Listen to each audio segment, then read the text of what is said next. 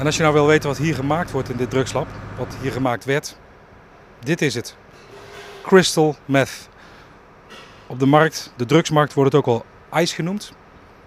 En één zo'n grammetje van dit spul, van deze kleine kristalletjes, is zo'n 100 euro waard op de drugsmarkt. En hier zit bijna 600 gram in. Dus reken maar uit, 100 euro, 600 gram.